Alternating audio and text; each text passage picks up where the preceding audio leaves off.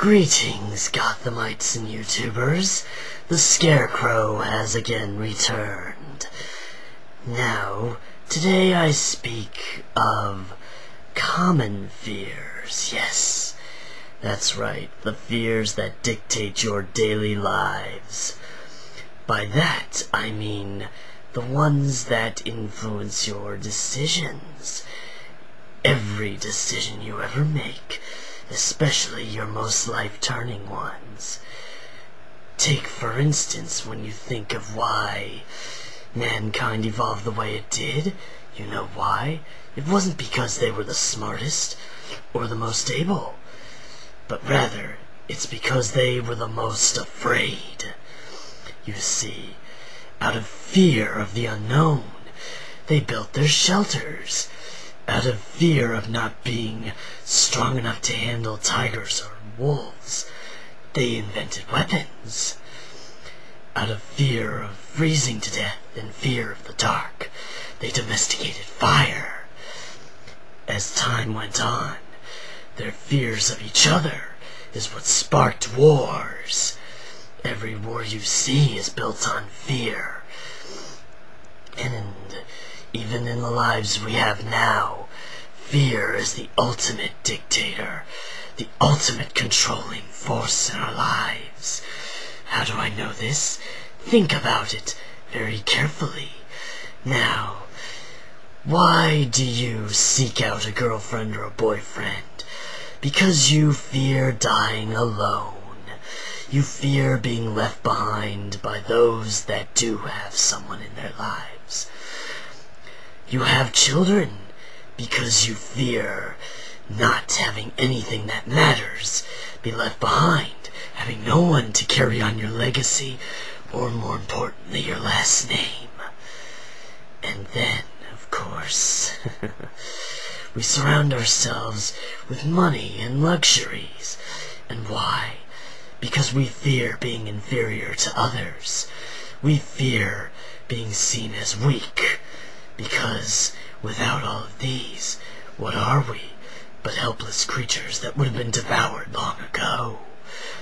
So indeed, the truth is, fear dominates all of us. Then we think about the Batman and us, the rogues, that make up his gallery of enemies.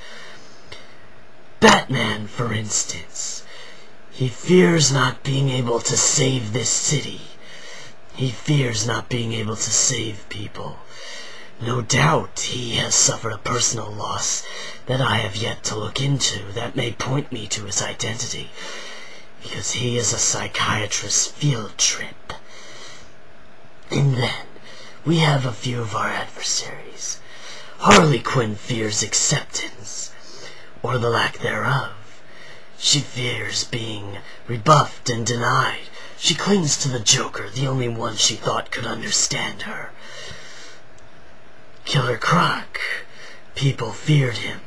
In turn, they fear what they don't understand, and Killer Croc is a case in point of that.